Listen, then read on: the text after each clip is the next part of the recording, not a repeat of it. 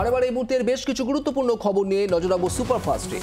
পরিচারিকার উপর নির্মম অত্যাচারের অভিযোগ, গ্রেপ্তার ঝাড়খণ্ডের বহিষ্কৃত বিজেপি নেত্রী। পরিচারিকার দাবি, তাকে উদ্ধারে সাহায্য করেন বহিষ্কৃত বিজেপি নেত্রীর ছেলে। সীমা পাত্র নামে ওই নেত্রীর বিরুদ্ধে পরিচারিকাকে মারধরের অভিযোগ ওঠে। পরিচারিকাকে তিনি গরম চাটু দিয়ে ছ্যাঁকা দেন ও জোর করে প্রস্রাব চাটানো হয় বলে অভিযোগ।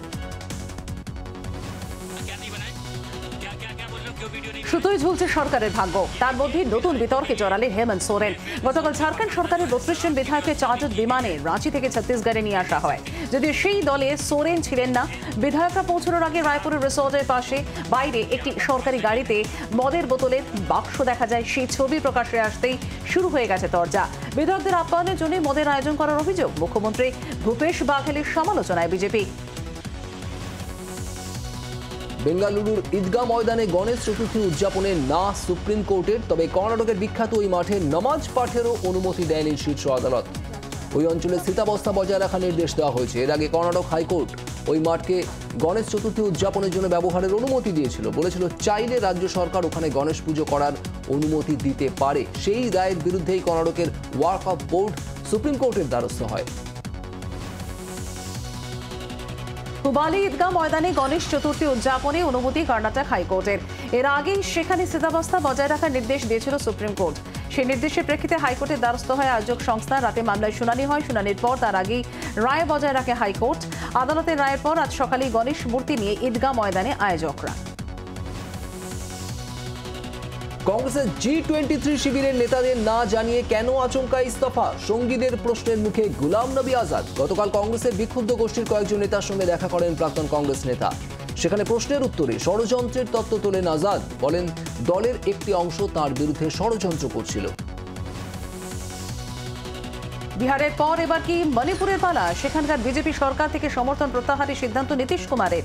সূত্রের খবর খুব শীঘ্রই সে রাজ্যের নেতাদের সঙ্গে বৈঠকে বসবেন নীতিশ। সেক্ষেত্রে কিছুটা হলেও চাপে পড়বেন মুখ্যমন্ত্রী ইন বীরেন সিং। ষাট আসনে মণিপুর বিধানসভায় বিজেপি নেমে আসবে আটচল্লিশে। এদের মধ্যে বিজেপির একার আসন বত্রিশ। একশো দশ কোটি টাকার সম্পত্তির মালিক সোনালী ফোগট হিসারের ফার্ম হাউসের সঙ্গে বিজেপি নেত্রীর মৃত্যু রহস্যের কোনো যোগসূত্র রয়েছে কি? জানার চেষ্টা করছে পুলিশ। সূত্রের খবর, ইতিমধ্যেই তার আত্মসহায়ক ধৃত সুধীর সাংওয়ান সোনালীকে মাদক দেওয়ার কথা কবুল করেছেন। এদিকে গোয়া পুলিশের তদন্তে সন্তুষ্ট নন সোনালী ফোগটের মেয়ে, সিবিআই তদন্তে অনর তিনি। গ্রেফতারি পরে হাসপাতালে ভর্তি হলেন কামাল রশিদ খান।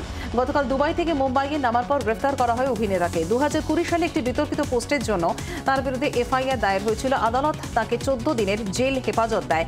সূত্রের খবর, বিকেলের পর থেকে বুকে অসহ্য যন্ত্রণা শুরু হয় প্রাক্তন বিগ বস প্রতিযোগীর। তাকে কান্দিবালির একটি হাসপাতালে নিয়ে যাওয়া হয়। এখনও অশান্ত বাগদাদ। ধর্মগুরুর রাজনীতি থেকে সরে আসার সিদ্ধান্ত ঘিরে গতকাল থেকেই উত্তপ্ত ইরাকের রাজধানী গ্রিন জোনে বোমাবর্ষণ মৃতের সংখ্যা বেড়ে তিরিশ।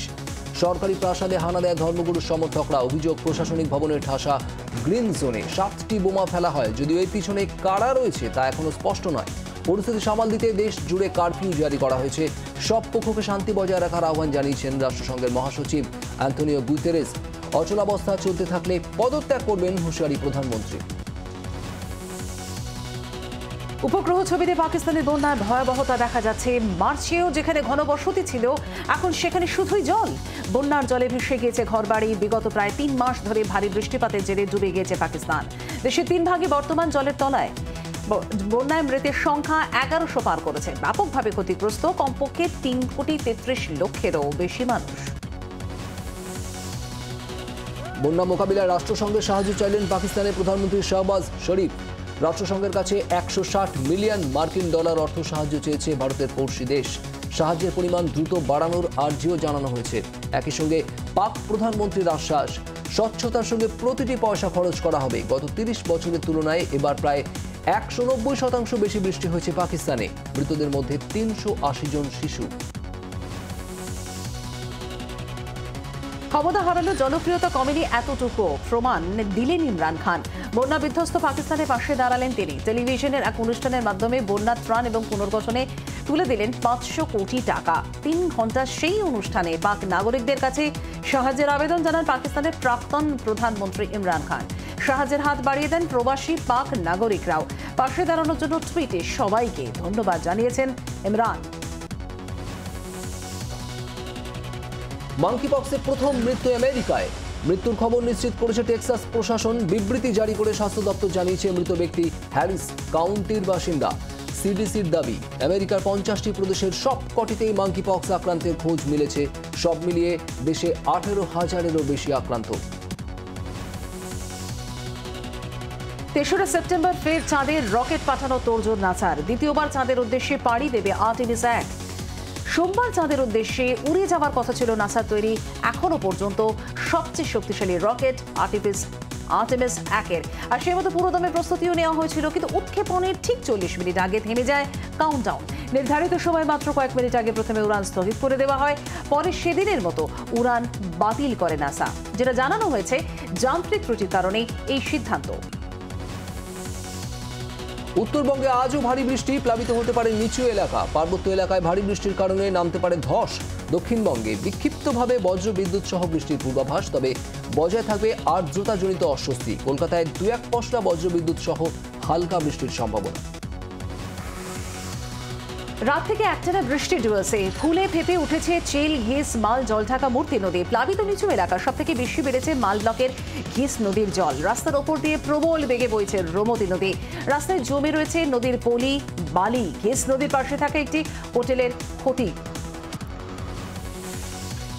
ভাটপাড়ায় আবারও শুট আউট তেরো নম্বর ওয়ার্ডের বাড়ি পাড়ায় বন্ধুর গুলিতে জখম বন্ধু। বছর তিরিশের ওই যুবকের পেটে গুলি লাগে। আশঙ্কাজনক অবস্থায় এসএসকেএম হাসপাতালে ভর্তি গুলিবিদ্ধ যুবক। কি কারণে হামলা তা এখনও স্পষ্ট নয়। তদন্তে ভাটপাড়া থানার পুলিশ। স্ত্রীকে খুনের চেষ্টা করে আত্মঘাতী স্বামী। মুর্শিদাবাদের সাগরপাড়ায় চাঞ্চল্য। স্থানীয় সূত্রে খবর, মহিলার বিবাহ বহির্ভূত সম্পর্ক নিয়ে স্বামী স্ত্রীর মধ্যে প্রায়ই ঝামেলা চলত। আজ ভোর থেকে অশান্তি শুরু হয়। আচমকায় স্ত্রীকে ধারালো অস্ত্রের কোপ মেরে আত্মঘাতী হন অভিযুক্ত স্বামী। আশঙ্কাজনক অবস্থায় স্ত্রীকে হাসপাতালে নিয়ে যাওয়া হয়। আপাতত তার অবস্থা স্থিতিশীল। চাকরি দেওয়ার নাম করে টাকা নেওয়ার অভিযোগ। প্রাথমিক শিক্ষককে মারধর করে পুলিশের হাতে তুলে দিলেন প্রতারিত চাকরি প্রার্থী ও তার বাবা। বাঁকুড়ার সোনামুখী থানার ঘটনা। অভিযোগ, স্বাস্থ্য দপ্তরে চাকরি পাইয়ে দেওয়া টোপ দিয়ে প্রায় ন লক্ষ টাকা দাবি করেন ওই শিক্ষক। অভিযুক্তের হাতে আট লক্ষেরও বেশি টাকা তুলে দেওয়ার দাবি চাকরি প্রার্থীর। প্রয়াত শেষ সোভিয়েত প্রেসিডেন্ট মেখাল গর্ভচেব ইতিহাসবিদদের মতে সোভিয়েত ইউনিয়নের ভাঙন রুখতে না পারলেও বিনা রক্তপাতে ঠান্ডা লড়াই শেষ করার কৃতিত্ব তাঁরই। মৃত্যুকালে গর্ভচেবের বয়স হয়েছিল নিরানব্বই বছর। দীর্ঘদিন ধরে একাধিক রোগে তিনি ভুগছিলেন। মঙ্গলবার তার শারীরিক অবস্থার অবনতি ঘটে। মস্কোর দ্য ক্লিনিক্যাল হাসপাতালে শেষ নিঃশ্বাস ত্যাগ করেন তিনি।